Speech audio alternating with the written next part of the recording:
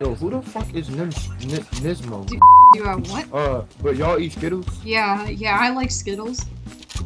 This this question is dead ass serious. Yo, I like I like Skittles. You're saying that in part. No, listen, listen. I do. Yeah, I like Skittles. I like them. They're good candy.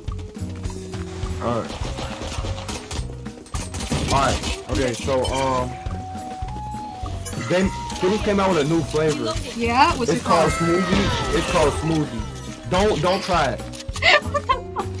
Don't eat it, bro. I ain't Why? so It sounds so good. It tastes, it tastes like it tastes like you throwing up your mouth, and that's even a joke. Not even a joke. You trying to talk about vomit You want to talk about tastes like shit? Then that that would be Bean Boozled. You ever tried No, Bean Boozled jelly like- beans? No, listen, listen to me. I'm when I first like put this in my mouth, bro, and I was chewing, right?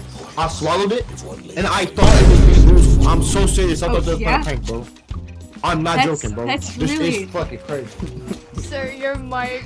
Uh, This good? this man is so out of it. Like he's so he's so out. Of it. Is there Yeah? a way to fix your mic on Valorant? Because this is the only thing I have to do. It's just find on Discord. Oh, give me. But I'm every time kind I of get in a on, match. every time I get on Valorant, nigga, like, bro, fix your mic.